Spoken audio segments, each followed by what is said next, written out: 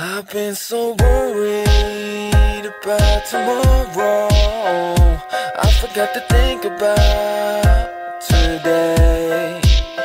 And it seems I'm always going to all this trouble.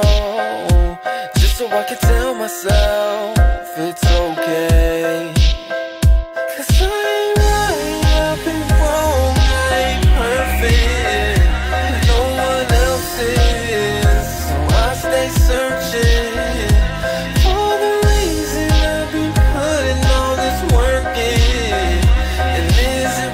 again.